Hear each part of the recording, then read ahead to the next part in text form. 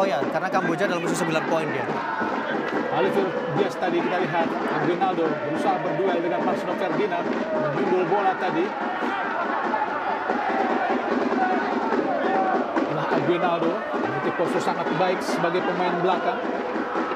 Posisi 182 cm. Saja sudah tiga pertandingan terakhir Indonesia tidak pernah menang melawan Filipina pertandingan uh, menang terakhir Indonesia di tahun 2010 saat semifinal dua leg lewat gol Christian Gonzalez di Stadion Gelora Bung Karno saat itu.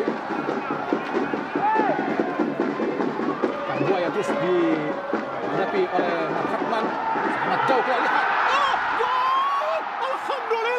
Sebuah gol yang sangat cantik lewat suduran kepala. Hasil lemparan ke